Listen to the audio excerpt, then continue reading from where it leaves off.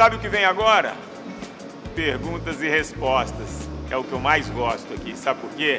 Porque você manda, você se inscreveu no canal, você tem as dúvidas e eu venho aqui para tentar resolver. Vamos lá? Vamos começar. E o primeiro é o Thiago, Thiago Lopes. Eu gostei dele porque ele já começa elogiando. Queria saber a eficiência do aeróbico em jejum. Realmente funciona? É indicado para qualquer pessoa essa prática? Boa pergunta. É, se você se sente bem quando faz o aeróbico em jejum, né? Se, se você não tem comprometido a intensidade, a duração da atividade física, você pode até treinar, né? É, o que a gente tem em estudo é que você consegue gastar um pouco mais de gordura quando você treina no jejum, mas desde que esse treino não seja intenso, seja um treino ali a 60, no máximo 70% da sua capacidade. E como no fundo o que ajuda a emagrecer mesmo é a queima de calorias, a gente sempre indica, né? É, como alguma coisa antes, porque aí você consegue fazer treinos mais intensos, mais longos e vai conseguir emagrecer. Agora, se você se sente super bem treinando em jejum, não tem problema nenhum, vai nessa. Agora, pós-atividade física, importantíssimo que você faça sua refeição. Tá bom, Tiagão? Silvio Pereira, ele era totalmente sedentário e comprou aquele elíptico, aquele simulador de caminhada. Começou fazendo 10 minutos, hoje já consegue fazer 20. Resolve? Super resolve, tá? Ele substitui a caminhada sem impacto. O que, que é importante? Que você tenha regularidade, né? Então, é, não adianta fazer duas, uma vez na semana. Procure fazer cinco vezes na semana. Tente acumular ao longo da semana 150 minutos. Aí você já vai colher todos os benefícios do movimento. Quem diz isso não sou eu, é a Organização Mundial da Saúde. Samara Dornelles.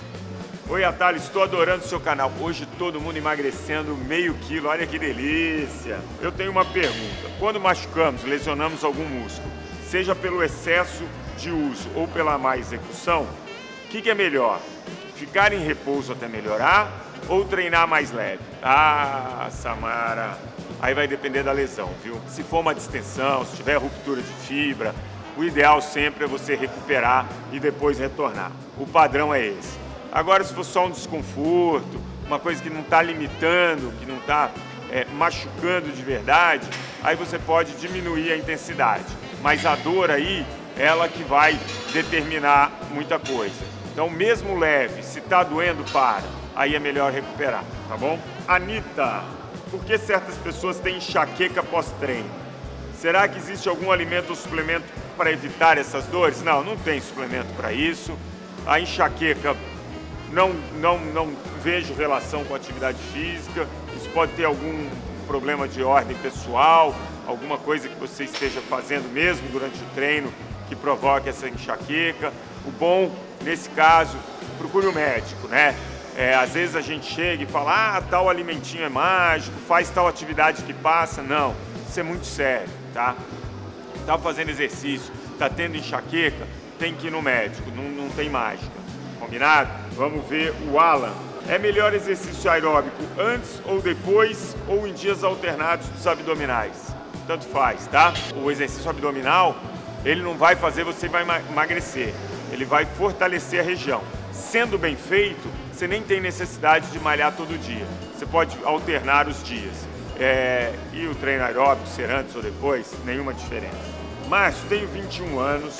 Desde que me entendo por gente, faço reeducação alimentar, dieta e nunca consegui chegar aos resultados desejados eu tenho compulsão alimentar. Tenho crises, como até o estômago doer.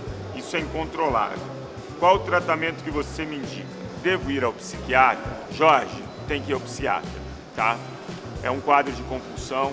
Não adianta a gente chegar aqui é, e querer dourar a pílula, entendeu? Ah, faz atividade física que isso vai diminuir, pode ajudar. Mas no seu caso, fica claro que você precisa de uma ajuda médica, você precisa mesmo. Não adianta falar, ah, come um pouquinho de fibra, que isso vai te dar uma saciada. Já está claro que não vai. Você já tentou várias dietas, vários tipos de reeducação alimentar, você não falou de atividade física. A atividade física vai ajudar, mas é o que eu estou te falando, ela vai ajudar. Num caso desse, de compulsão tão clara, cara, não marque bobeira. Vá mesmo no médico, procure uma ajuda de um psiquiatra, isso vai te ajudar. tá bom? No pré-treino, qual a melhor opção de refeição? Quanto tempo antes faço judô? Fazer uma refeição antes, se, se for muito cedo, uma refeição bem leve, e aí ela pode ter algum tipo de carboidrato, então pode ter uma fruta, um sanduíche.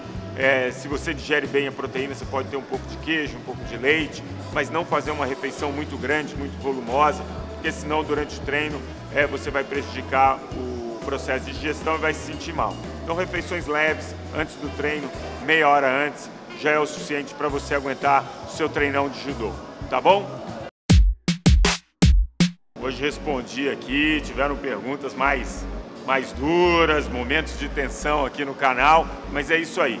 As dúvidas às vezes são mais é, simples e outras mais complexas mesmo, e isso é que é bacana. Então se você tiver qualquer tipo de dúvida, coloque aqui nos comentários, a gente vai selecionar, eu venho aqui e respondo, e você vai ter a oportunidade de assistir toda segunda e toda quinta às sete e meia da manhã aqui no canal Bem-Estar.